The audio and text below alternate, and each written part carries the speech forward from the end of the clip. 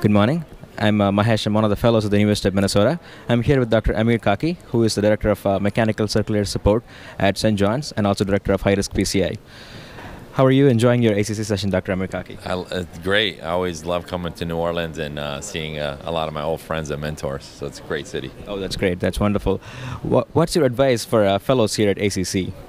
Uh, my advice is uh, this is a good opportunity not only to attend some wonderful sessions. I think today you saw what we learned in transcatheter aortic valves. Today was a landmark day for interventional cardiology.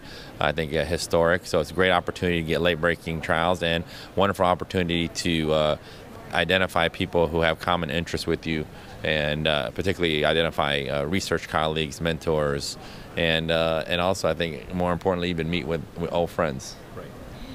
That's that's great. That's great. Um, what is your advice for uh, fellows in cardiology who want to be uh, passionate like what you are doing in, in your life uh, with the high risk PCI and, and, and interventions? Uh, the way you, you do like the, these crazy things are amazing. So, what do you advise for people who are looking into to improve their skills in the field of intervention? Yeah, so my advice is uh, I find out uh, what you enjoy and what you're passionate about, and then it becomes really easy. It's not like a job, and I think uh, the key is doing. If you're doing what you like and what makes you happy, it's never like work. It's actually a tremendous fun, and uh, it's a very exciting time to be an interventional cardiologist. What changes do you see in ACC 2019 compared to the previous ACC sessions you've been to?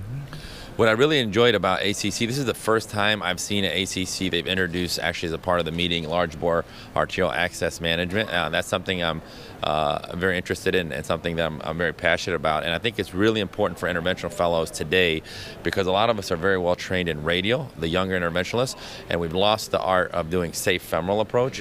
And I'm very happy here that the ACC has um, that's an unmet need that the ACC has addressed. And there's been a lot of sessions with great speakers and great lectures, and uh, not only didactics but practical simulators to address what I think is a very important skill in modern interventional cardiology for, for our fellows. Thank you so much for great advice. Anything else? Any pearls that you want to throw at the end for yeah. the fellows? Fellows, uh, when uh, meetings are in cities like New Orleans, uh, take advantage and, and enjoy it. Thank you so much, um, Amir Kaki.